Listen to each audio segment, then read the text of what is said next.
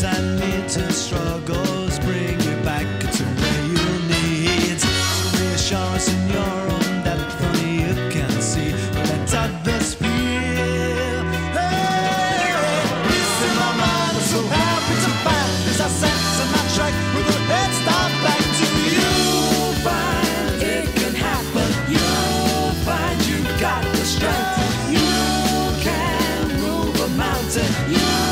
just need confidence.